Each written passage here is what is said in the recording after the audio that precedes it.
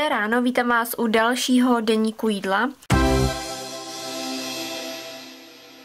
Já už si tady roztápím svůj panínovač a jdu nám udělat ke snídani zapečený tousty, protože si je přítel vyžádal. Mám tady obyčejný eh, světlej toustový chleba. Příteli ho budu natírat kremžskou hořticí a sobě na něj dám tohle pomazánkový máslo od Olmy. Potom nám tam dám trošku zeleniny, takže tady mám směs salátů a jedno rajče. Plus tam dám šunku, mám konkrétně tuhle šunku Moravia a abychom tam měli i nějaký rozteklej sír, tak do toho šoupnu tenhle prezident cheddar, který je velmi dobrý.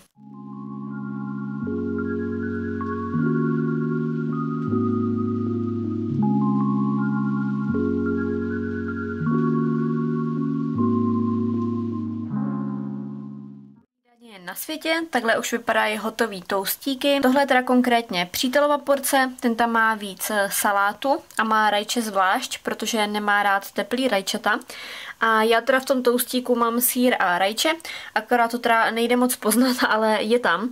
Já tam mám půlku rajčete právě a dala jsem si ke snídaní ještě kousek štrůdlu, který jsem pekla předevčírem. A velice se samozřejmě těším, protože miluju takhle slano sladký snídaně. Takže se jdeme nasnídat a za chviličku uvidíte, co budeme mít dobrýho k obědu. Dneska jsme si nechali dovíst oběd ze Sakury, ze který moc často neobjednáváme, ale rádi tam právě chodíme na jídla, třeba i s mamkou a s přítelem ale bohužel teď se nikam moc nemůže chodit, takže jsme zvolili tuhle variantu a objednali jsme si něco dobrýho domů. A co to je, to vám hnedka ukážu. Já jsem si samozřejmě nemohla dát v Sakuře nic jiného než sushi, protože sushi mají úplně nejlepší a mám tady lososový a s avokádem a potom takhle ještě tyhle dvě, tohle pak s tuňákem. A k suši já ráda si dávám tenhle klasický zelený čínský salát, takže mám ten. A tady ještě můžete vidět pikantní polívku. Přítel si pak vybral nějakou polívku, myslím s kokosovým mlíkem a s krevetama.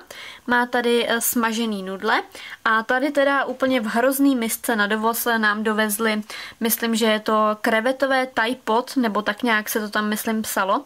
Takže to, má to být eh, s kokosovým mlíkem, s krevetama, se zeleninou, ale vypadá to teda i voní krásně, akorát ten obal je úplně na prd, protože to vyteklo. No nicméně to nevadí a my si to jdeme rychle sníst, ať to přítelovi nevystydne a mě ať nevystydne ta polívka. A hrozně se těším na to sushi. Mňam. Před chviličkou jsme se vrátili s mamkou z obchodu a byli jsme se teda podívat ještě, protože mamka schánila nějaký vánoční dárky a vklouzli jsme do New Yorku, kde jsme chtěli právě dokoupit vánoční dárek, co mamča potřebovala. Ale teda jak to tak bývá a jak vidíte, tak eh, jsme nakoupili i něco pro sebe. Já tady mám teda jenom svoji kupičku a ukážu vám, co jsem si vzala. Já vám totiž často nákupy oblečení neukazuju, protože já upřímně moc nemusím nakupovat eh, oblečení, nemám to moc ráda. Nebaví mě to zkoušet. Absolutně nesnáším zkoušení kalhot, kraťasů, sukní a tak dále. Úplně to prostě nenávidím. takže proto ani často oblečení nenakupuju, protože to nesnáším zkoušet. Ale e, teď se mi tolik e, kousků líbilo, že jsem si říkala, dobrý, tak se teda slíknu a vyzkouším si to. Zkoušela jsem si i kalhoty, ale bohužel i kraťasy teda, ale bohužel se mi nelíbily, takže ty jsem si nevzala, ale mám tady spoustu dalších kousků, který vám teď ukážu. Tady ještě teda na začátek můžete vidět jednu masku, je z Rossmanu, tady nějaká novinka, hydromaska, ta mě tam velice zaujala a stála nějakých 39 eh, korun a já prostě jak vidím novou masku, tak ji musím mít, takže e, maska. A jdeme se vrhnout na to oblečení, který vám hnedka ukážu. Jako první vám ukážu plavky a tahle barva absolutně nevypadá jako v reálu. Ten foťák to strašně žere. Ta barva je méně taková eh, svítivá, já to vidím strašně svítivý na tom foťáku, ale ve skutečnosti je to taková fialovo-růžová barva, fakt hezká, ale tmavší. A tenhle kousek se mi velice líbil, hlavně kvůli tomu žebrování. Myslím si, že to bude vypadat krásně na postavě. Vzala jsem si teda velikost S a měli tam úplně skvělou cenu. Původně to stálo 249 korun a já to koupila za 29 a já mám doma teda černý vršek a černý spodek a právě to kombinuju s různýma jinýma barevnýma kouskama, takže tohle právě plánuju nosit k tomu černému vršku. Když jsme u těch plavek, tak potom se mi tam líbil vršek červený, je takovej eh, tmavě rudej a má na sobě kraječku. To se mi opravdu hodně líbilo. A tenhle právě plánuju nosit k tomu černému spodku, který mám doma. Vypadá opravdu moc krásně a opět stál 349 korun, což je docela teda darda a já jsem za něj platila 29 korun. Tak to si myslím, že je taky úplně super kauf a moc se těším, až to v létě vytáhnu. Další kousek, který se mi tam líbil a který jsem si chtěla doplnit do šatníku, je úplně obyčejný bavlněný tričko v béžové barvě. Je to teda konkrétně tílko, má špagetový ramínka a to jsem si koupila z původních 109 korun na 59 a brala jsem si velikost M. Další kousek jsem si vzala rovnou dvakrát a ve dvou různých barvách, protože se mi velice líbil. Takhle na uh, té kameře to nevypadá moc dobře, ale ve skutečnosti, když to je na postavě, vypadá to moc krásně. A je to takový kratší tílko s tlustějšíma ramínkama, což já mám velice ráda. Moc se mi právě líbí ty tlustější ramínka. Jak vidíte, tak na boku, ve prostřed to má žebrování a nádherně se to přizpůsobí postavě. A tenhle kousek bude skvělý k nějakým vysokým kraťasům nebo džínům. Myslím si, že to bude vypadat úplně nádherně. A ten teda stál původně 199 korun a já ho mám za 29 a opět jsem si brala velikost M. A jak jsem říkala, tak tady mám teda tu druhou barvu a je to taková krásná, světlá, krémovo-béžová barva. V téhle se mi teda líbí ten top trošičku víc, ale věřím, že i tu černou univerzální určitě unosím a opět ze 199 na 29 korun a velikost M. Další kousek, který teda vůbec není moje velikost, ale strašně se mi líbil, tak je tílko s takovým leopardím vzorem. Ten vzor je opravdu moc hezký a takovej decentní, řekla bych. S černýma kalhotama to bude vypadat úplně krásně. Má takovýhle vršek za krk, to se mi velice líbilo. A jak vidíte vzadu, tak je to velikost L. A já teda si beru většinou S, u některých věcí M, když chci, aby to nebylo úplně upnutý, ale L si teda neberu. Ale protože ten top stál úplně neuvěřitelných, opět 29 korun z původních 169, tak jsem si říkala, dobrý, zkusím si ho, vzala jsem si ho do kabinky a úplně skvěle mi sedí. Je takovej volný volnější, ale tak jako dobře volný, že to nevypadá, že je mi velký. Takže super, to jsem právě chtěla, aby to bylo trošku takový volnější a vlající. A ono to i tak jako by původně má být tady dole takový vlající, prostě no moc se mi to líbí. A jsem teda ráda, že mi i ta velikost L takhle sedla a že mám takový krásný top opět za 29 korun. Mám tady poslední dva kousky a jak jste si určitě všimli, tak spoustu věcí mám v béžové barvě, protože v béžový doma nic nemám a mně se ta barva strašně líbila, ale nikdy nevím, proč jsem si nějak nic v té barvě nekupovala, ale právě jsem chtěla, takže jsem vybírala právě hlavně tuhle barvu a tohle je tílko se špagetovýma nastavitelnýma ramínkama, má nahoře krásnou krajku, ten detail se mi velice líbí, je úplně takový obyčejný, opět splývavý a volnější. A to mě stálo z původních 199 59 korun a vybrala jsem si velikost M. A poslední kousek, který vám dneska ukážu, co jsem si koupila, tak je overall, opět v béžové barvě. A tenhle overall já jsem viděla právě ve Stojanu, poslední, ale byla to velikost XXL, no tak to jako by mi bylo opravdu strašně velký, do toho bych se vyšla třikrát. Tak uh, jsem říkala, no tak smůla, ale strašně se mi líbil, úplně hrozně, protože má tady knoflíčky, ve prostřed se dá zavázat a říkala jsem, ty ten je nádherný, to mě fakt mrzí, že nemají aspoň třeba to Elko, že bych si zkusila, i když v tom bych taky plavala hrozně, ale prostě bylo mi líto, že nemají Esko nebo Mko, zkrátím to. A pak jsem šla k pokladně, že jdu platit a máma ještě otáčela takový ten stojan výprodejový, který právě byl u kasy a zahlídla jsem tam ten overall a zase jenom jeden. Tak jsem mámě říkala, ať mi ho rychle strčí do ruky, že se podívám, jaká je to velikost. a byla to velikost, prosím vás, 38 a stál ze 449 korun jenom 129. Takže jsem říkala, tak to beru. Ani jsem ho neskoušela, protože už jsem platila, jak jsem říkala, už jsem byla u kasy a doufám, že mi bude, Budu si ho za chviličku vyzkoušet a jestli mi bude, tak jsem mega nadšená, protože nejen, že byl zlevněný z těch 449 na 129, ale u kasy e, mi paní ho napočítala jenom za 89 korun, asi tam byla ještě nějaká sleva, tak to jsem si říkala, i kdybych to měla nosit na doma, když mi nebude sedět, tak si ho prostě vezmu, protože se mi hrozně moc líbí. Tak e, si ho jdu teda vyzkoušet, až vám to tady dotočím a doufám, že mi bude sedět protože je fakt nádherný. Jsem z něj mega nadšená. Takže z tohohle kousku jsem dneska úplně nejvíc unešená a teda je to pecka. A můžu vám ukázat ještě takový mix nákupu, který jsem udělala právě v jiných obchodech. A hnedka tady nahoře mám věc z Teska, kde měli tohohle krásného uzeného lososa, vypadá fakt nádherně, jenom za 36 korun. Je až do konce prosince, myslím, do 28.12. A normálně ho tam měli ve velký slevě za 36. No tak to jsem si takhle vzala, abychom si dali právě k večeři a moc se na něj těším. Potom jsem se cestou domů stavila do trafiky, kde jsem potřebovala vybrat los.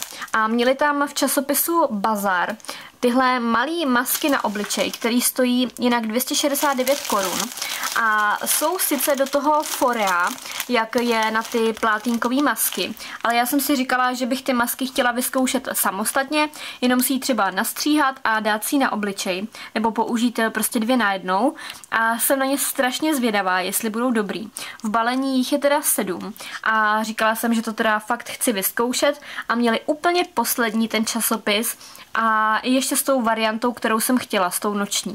Takže z toho mám obrovskou radost. Potom jsem se stavila v jednom takovém zapadlém obchodě a já nevím, jestli máte rádi zapadlý obchody, ale já je naprosto miluju, protože tam mají věci, které jinde nenajdete od různých zajímavých značek. A našla jsem tam tohle poměrně dost velký balení škvarků a s nima právě chci udělat škvarkovou pomazánku a nebo prostě si dáme jen tak na chuť pár škvarků a myslím, že to bude super. To už jsme del delší dobu neměli. A stálo to asi nějakých 30 korun, fakt to nebylo vůbec drahý. Pak, co já úplně miluju, tak jsou tyhle různý tavený síry v takových těch eh, pitlíčkách, nebo jak to říct a opět měli tam značku, kterou jsem nikde neviděla, takže jsem opět šoupla síry do košíku. A jak jsme mluvili o tom, že chci udělat tu škvarkovou pomazánku, tak tam měli v regálu už právě takhle hotovou a ta mě velmi taky zaujala. Je to obyčejná škvarková pomazánka od značky Gazda, pokud to vidím dobře. Měli tam ještě variantu s chili, ale já jsem vzala tuhle obyč a byla za nějakých 19 korun. Takže na to jsem samozřejmě taky velice zvědavá. A poslední věc, která mě tam hodně zaujala, je tenhle proteinový nápoj s kokosem. Já teda kokos nikdy moc nemusela, co se týče třeba vůně nebo jídla. Nějak primárně jsem ho nevyhledávala, ale v poslední době mám strašně ráda vůně kokosový a i jídlo s kokosem, takže eh, šoupla jsem ho do košíku, že vyzkouším a stál nějakých 15 korun. A pak jsme se ještě stavovali v Rosmanu. Mamka tam kupovala vánoční dárek a já jsem tam viděla v regálu tyhle Alpro sojový nápoje za nějakých 17 korun nebo 19. Normálně vím, že stojí kolem 25-29, takže jsem si vzala dvě malý do zásoby a záměrně si teda beru malou velikost, protože já si to liju do kafe a za stolik toho kafe nepiju a nepiju ho tak často. Ale když si dělám právě bezkofeinový, tak ráda si do toho přidám tohle tenhle sojový nápoj, protože to výborně dochutí vanilkově a chutná to moc dobře. A viděla jsem to u jedné eh, youtuberky, tak jsem to zkusila a je to fakt dobrý. Takže si právě na tohle kupuju tyhle malý nápoje a čekám vždycky, až bude právě nějaká akce. Tak a já tady ještě hledám poslední věc, kterou jsem si byla koupit v doktoru Maxovi, protože já jsem od včerejška nějak jako ohluchla na jedno ucho, vůbec neslyším. Mám ho úplně zalehlý a vůbec nevím, co se stalo. A dneska ráno jsem se taky zbudila a vůbec prostě to je úplně hrozný hnusný pocit. A četla jsem, že to může být nějak ucpaný prostě mazem, tak jsem si říkala, že zkusím takhle nějaký spray. No a když to nepomůže, tak budu muset asi doktorovi, uvidíme. Věřím, že to pomůže. A má to být teda ušní spray s obsahem olivového oleje a právě od značky Dr. Max, pán mi ho tam doporučil, tak eh, snad bude dobrý. Tak tohle jsou takový moje menší nákupy a mám fakt strašnou radost, když právě seženu nějaký takový zajímavý kousky v těch eh, zapadlých obchodech. Já opravdu nevím, jak to máte vy, jestli to máte taky rádi nebo ne, ale já jsem vždycky milovala tyhle zapadlý různý obchody, kde mají zajímavé značky, zajímavý sortiment, něco, co neseženete v běžných supermarketech, takže to jsem si zase udělala takovou malou radost. Můžu vám zase ukázat i nákup. Stavili jsme se v Lidlu, abychom dokoupili pár věcí, které nám doma chybí. A můžeme začít s těmahle drogistickýma věcma. Mám tady eh, kuchyňský papírový utěrky, potom na doplnění vatové tamponky, kapesníčky, mám tady i vložky, potom takovejhle přípravek do záchodu, který vytváří kytičku. Ještě jsem to neskoušela právě od té V5 a teď to bylo za nějakých 35 korun, tak jsem říkala, že to zkusím a jsem na to zvědavá, jak to vydrží a jak to bude vonět. A potom tady mám poslední z těchto drogistických věcí eh, vlčený toaletní papír. Na večeři jsem nám vzala tenhle dobrý chlebík, mám tu strouhanku, balkánský sír, ten je velice dobrý, kupuju ho opakovaně a těstoviny, kolínka konkrétně tyhle maličkatý, protože ty máme úplně nejradši a budu dělat kuře na paprice a k tomu má právě přítel nejradši kolínka, tak jsem vzala tyhle malý.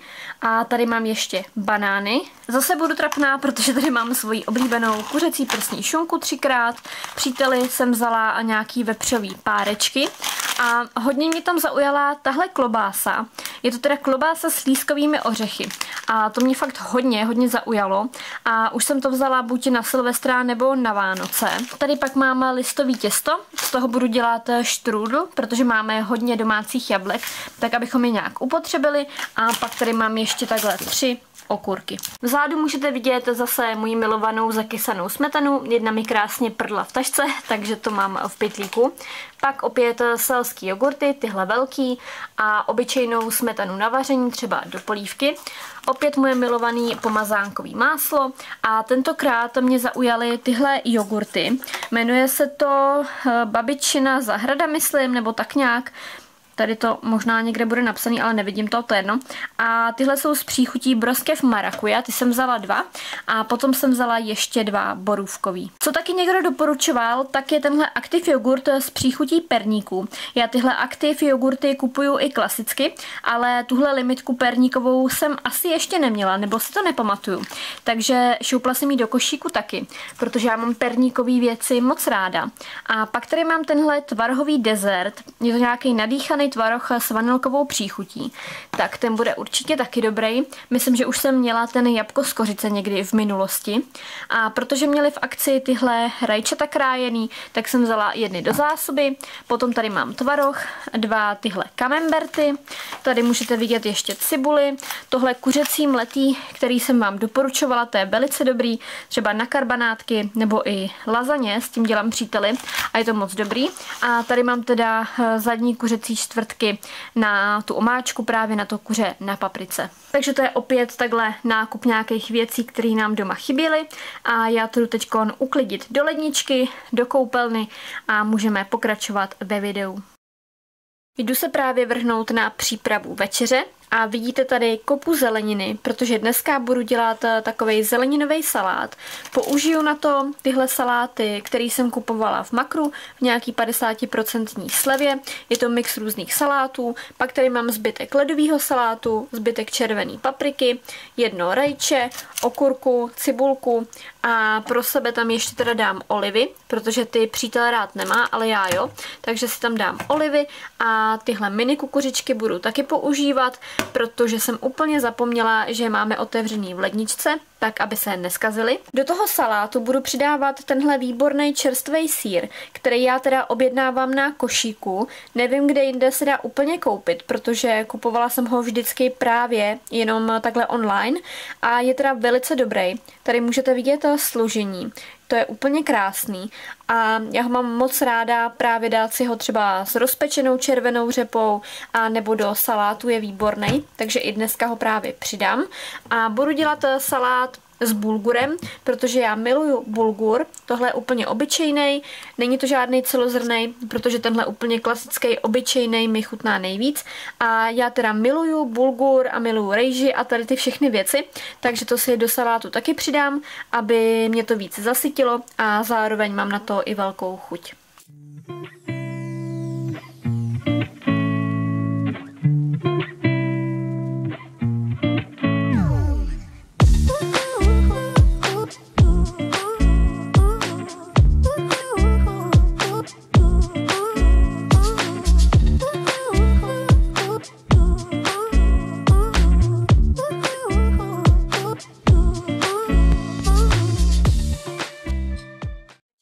Hotovou a tady můžete vidět na té zelenině, že sír ve spojení právě s tím olejem, jak se to promíchá, tak vytvoří takovou jakoby zálivku na to, což je úplně super. Zůstanou tam i kousky síru, ale kousky se úplně rozpustějí a vytvoří to takovou dobrou jako kdyby omáčku na tom a je to fakt strašně dobrý. Hlavně proto mám teda ten sír velice ráda.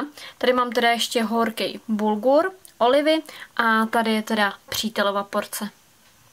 A k večeři nám jdu ještě udělat čaj a konkrétně tenhle čaj na imunitu. Jmenuje se Imunita Extra, je to číslo 84 a jsou to čaje od Zdislavy. Nevím, jestli to někdo z vás zná, ale já jsem tyhle čaje objevila díky Aje, která natáčí videa, určitě ji znáte a kupuju si je a jsou fajn. Právě mám jeden na imunitu a mám doma i na virózu, kdybychom třeba byli nemocní a jdu právě udělat dva čajíky teď k večeři, abychom zase nějak podpořili imunitu.